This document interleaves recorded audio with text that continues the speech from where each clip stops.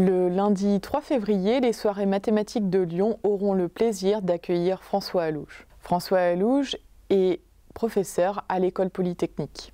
Son exposé s'intitule Natation, viscosité, coquille Saint-Jacques et géométrie.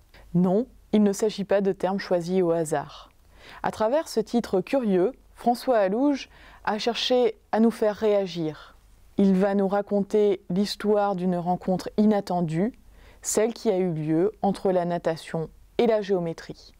François Alouge nous parlera des mécanismes mathématiques qui permettent le déplacement de micro-organismes dans un fluide. Cette question est de grande importance puisque les micro-organismes, bactéries, spermatozoïdes ou plancton se trouvent partout autour de nous. Et ils ont un rôle majeur dans le développement de la vie sur notre planète.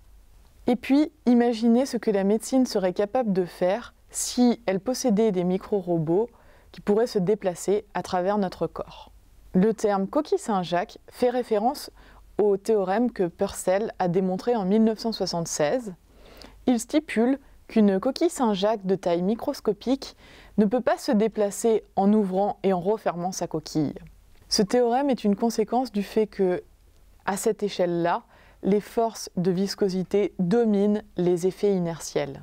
Purcell a donc mis en exergue le fait que les stratégies utilisées par les micro-organismes pour se déplacer sont fondamentalement différentes des nôtres. François Alouge vous expliquera comment la géométrie garantit l'existence de brassées qui permettent aux micro-organismes de se déplacer. Il parlera aussi du problème qui consiste à trouver la meilleure stratégie.